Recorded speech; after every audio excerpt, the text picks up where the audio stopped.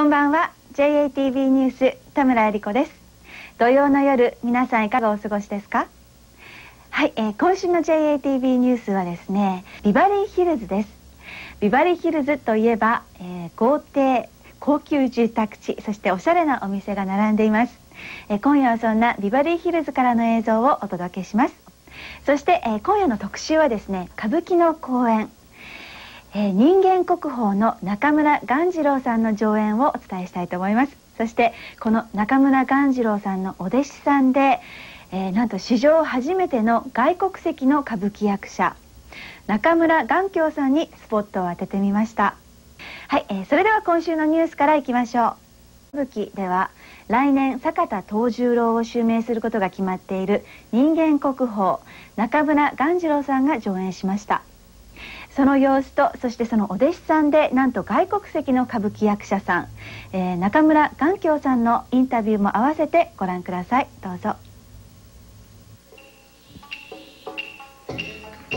松竹グランド歌舞伎が日米文化会館創立から25年を記念してセリドツセンターで行われました。あの人間国宝中村鴈治郎さん率いる近松座が曽根崎真珠など人情味あふれる華麗な演技を披露。たちを語って倒す男じゃない。さ来い。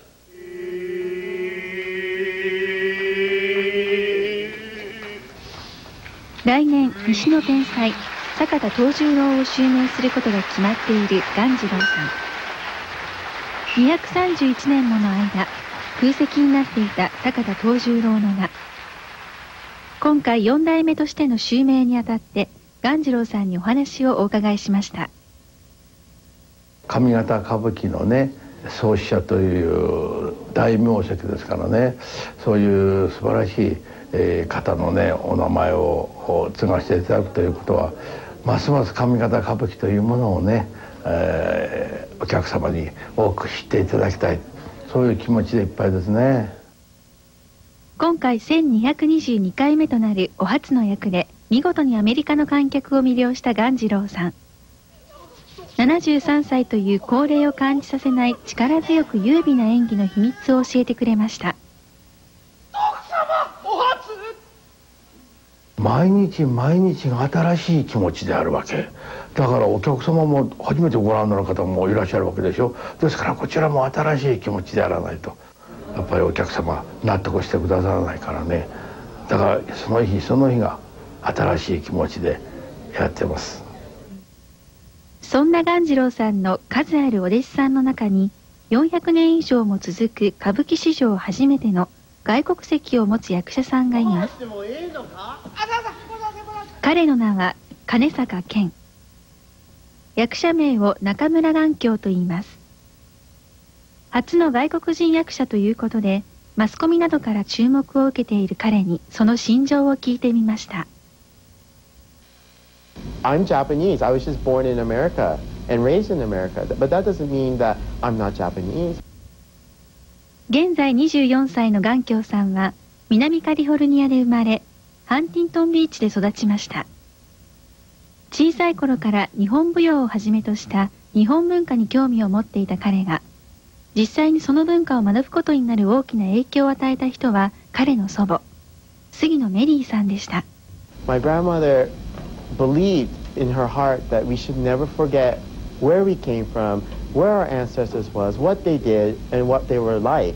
And so she, her one request for us was that we learn something about the Japanese heritage and culture. 高校を優秀な成績で卒業した眼鏡さんは UCLA に入学。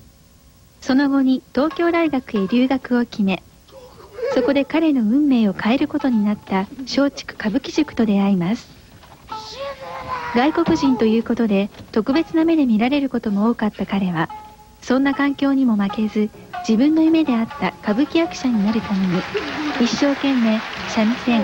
和裁縫そして書道を学びました Well, I mean, I have people that came up to me and says, you know, um, we don't want you here. There shouldn't be a foreigner in Kabuki. Uh, why don't you just go home? But when I was told those type of things, I just told them, oh, I don't understand what you're saying. やはり一番の難関は言葉の壁。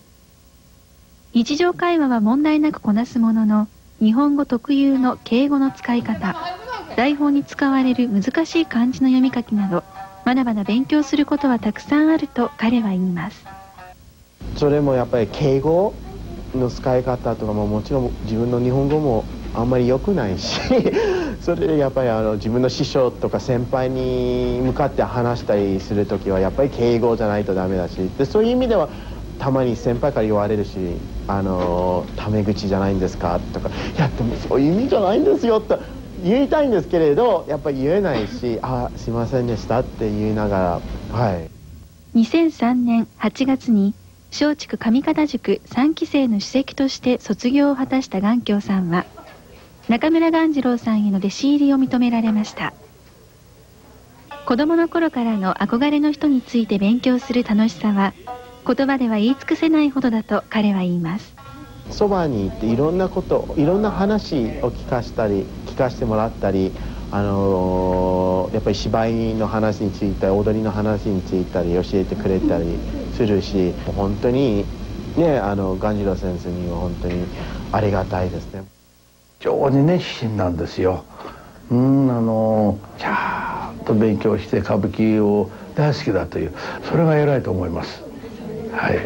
現在はアメリカと日本の間を行き来している眼鏡さん。